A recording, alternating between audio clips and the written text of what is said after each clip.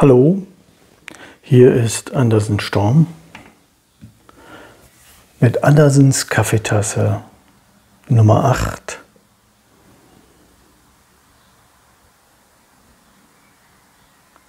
Ja, geht los. Ich möchte über ein Thema sprechen, das euch wahrscheinlich jeden Tag umtreibt. Ambiguität. Und wie man damit umgeht. Denn auch wenn ihr dieses Wort vielleicht nicht jeden Tag benutzt, und es euch vielleicht nicht sofort klar ist, dass ihr jeden Tag damit struggelt, denke ich schon, dass der Umgang mit, ja, ich sag mal, widersprüchlichen, nicht stimmigen, nicht zusammenpassenden, gleichzeitigen Eindrücken und Informationen aus der Welt um euch herum, also eure Welt, die ihr als euch herum wahrnehmt. Der Umgang mit so einer Ambiguität, mit so einer Widersprüchlichkeit, mit so einem dialektischen Input, der ist doch im Grunde das, was wir täglich diskutieren sollten, um aus dieser Nummer rauszukommen. Ist euch aufgefallen, dass nur nebenbei, dass wir jetzt nur noch von Demokratie reden und nicht mehr von Demokratie und Toleranz? Das wäre auch mal interessant, so die Geschichte zu, zu verfolgen. Das ist eine Aufgabe für einen Wissenschaftler. Der bin ich nicht. Äh, die Geschichte zu erfolgen, wann das in der öffentlichen Diskussion kippte und warum und in welchem Zusammenhang. Ja, ganz schnell ist man dabei, einfach zu sagen, bei Corona. Aber glaube ich nicht, ich glaube, es ging schon vorher los. Tolerie und Tolerar hieß das schon in Fachkreisen, was eine Kritik beinhaltet. So, wieder raus aus diesem Schlenker. Es geht um Ambiguitätstoleranz. Noch ein Schlenker. Die letzte Folge konnte nur ertragen, wer tatsächlich am Inhalt sehr interessiert war. Sorry dafür. Ich hatte einfach ein also das Mikrofon glitt auf einer Oberfläche hin und her, ganz offensichtlich auf einer glatten. Aber es ist mir auch schon in anderen Podcasts gelungen, so die tatsächlichen Hardcore-Hörer herauszufiltern. So, Spaß beiseite. Ist ja kein Witz-Podcast hier. Es ist einfach der langsamste Podcast der Welt und unter Umständen für einige Menschen interessant. Und auch das könnte eine Ambiguität sein. Also auch das könnte etwas sein, was nicht unbedingt zusammenpasst. So langsam zu denken und zu sprechen in einer Welt, die sich so rasant wandelt und zeitgleich mehreres ist. Das war sie schon immer. Wir erzählen uns äh, diese Welt nur in einer möglichen konsistenten, kohärenten Form. Das haben wir aber aufgegeben zu dieser Zeit. Das hat Gründe, die gucken wir uns heute aber gar nicht an sondern wir schauen uns an, wie können wir damit umgehen. Oder wir fragen uns das, oder ich frage mich das. Wie geht man damit um, dass man, ich sage mal vorsichtig, nicht allem emotional und intellektuell zustimmen kann, was aus der Welt auf einen einprasselt. Wie kann man damit dealen, dass man trotzdem bei sich bleibt und nicht verzweifelt und nicht die Augen verschließt und sich trotzdem äh, als unzerrissen wahrnimmt, was man ja gar nicht ist. Also man ist weder eine Einheit noch ist man, besteht man aus losen Teilen. Es ist einfach, ja, gar nicht einfach.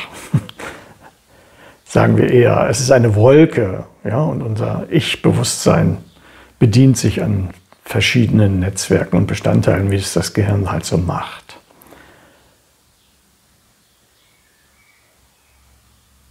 Wie kommt man damit klar, dass Menschen, die man mag, Meinungen und Überzeugungen haben, die man nicht teilen kann und die man vielleicht auch nicht mag?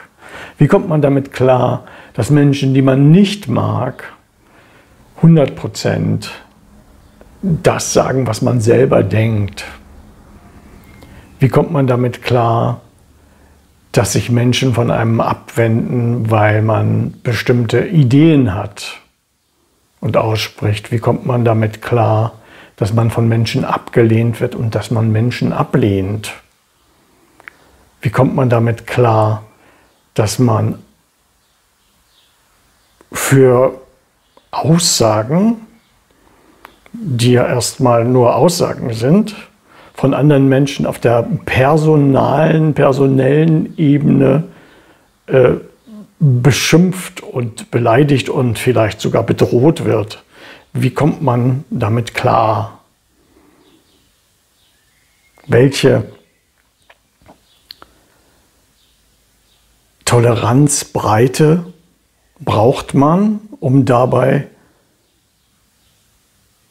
ja, ich sag mal, gesund zu bleiben, wobei das schwer zu definieren ist, was jetzt gesund ist. Gesund in einer kranken Welt. Behaupte ich gar nicht. Ich äh, gebe das nur zu bedenken, dass natürlich, wenn man selbst gesund sein will, auch die Umstände, in denen äh, man lebt, gesund sein sollten. Also gesund ist ein sehr dehnbarer Begriff. Eine Form muss in eine andere hineinpassen, um als gesund wahrgenommen zu werden. Auch da ist wieder ein Toleranzbereich erforderlich. So, und jetzt könntet ihr eigentlich schon losantworten. Wie kommt ihr damit klar, euch mit Gedankengut, was euch widerstrebt, ständig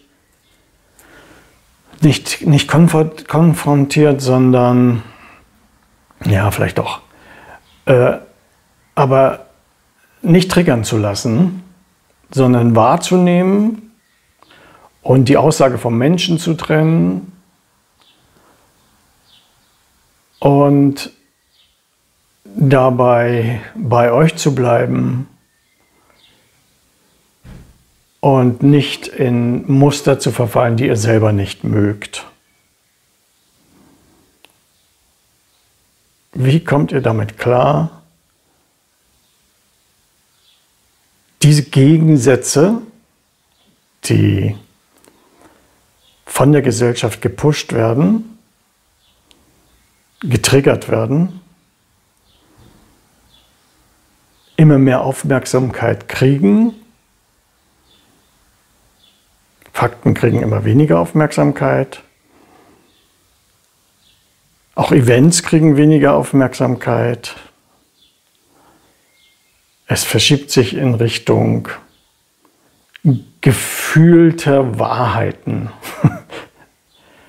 Wie kommt ihr damit klar, dabei trotzdem ruhig zu bleiben, bei euch zu bleiben und bei euren Überzeugungen zu bleiben, solange sie eure Überzeugungen sind. Also bei einer Überzeugung zu bleiben, die man eigentlich verloren hat, ist nicht gut für einen selber, würde ich mal behaupten. Und das ist doch ein Thema, womit man jeden Tag zu tun hat. Und ablenken kann man sich dadurch dabei eigentlich nur mit körperlicher Tätigkeit oder irgendwelchen Tätigkeiten, die damit halt gar nichts zu tun hat. Aber man trifft es halt immer. Noch ein Schlenker. Die Bundesregierung möchte jetzt was gegen Einsamkeit tun. Dabei tauchen Worte wie Kapitalismus, Neoliberalismus, gesellschaftliche Zwänge der Verein, Vereinzelung und so weiter, das taucht alles nicht auf in den Diskussionen. Es ist einfach eine, ein gemessenes Datum, dass immer mehr Menschen, auch je älter sie sind, äh, umso einsamer sich fühlen und dass man ich hatte schon mal einen Beitrag gehört von einem Einsamkeitsbeauftragten einer Wohnungsgesellschaft. Ja, dass man eigentlich eine sozialere Gesellschaft bräuchte und sie einfach sozialer gestalten könnte als Regierung, das aber gar nicht will, sondern sich lieber diesen Punkt Einsamkeit raussucht und so tut, als hätte man damit gar nichts zu tun und als hätte man selber nicht eingewirkt äh, auf die Veränderung der Gesellschaft ins Unsozialere hinein, als würde man das gar nicht beeinflussen können. Ja.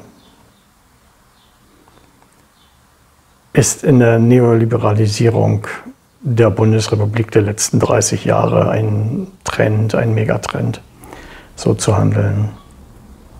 Das heißt, auf bestimmten Gebieten nicht zu handeln und einfach zuzugucken und sich einzelne Symptome anzusehen und die zu bekämpfen, als wären sie ein Strohmann. Das ist ein sehr erfolgreiches Handeln. Hm, schwer zu durchschauen für viele Menschen.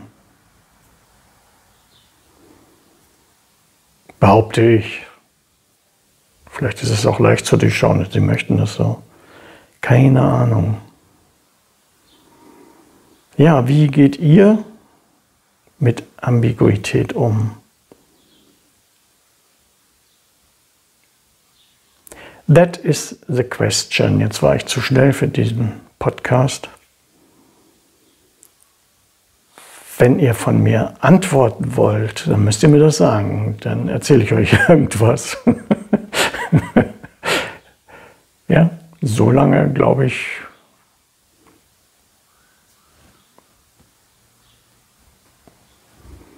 mache ich irgendwas.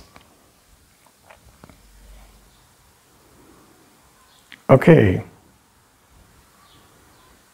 Wie geht ihr damit um, dass diese Folge so seltsam ist? Das war Andersens Kaffeetasse Nummer 8. Prost.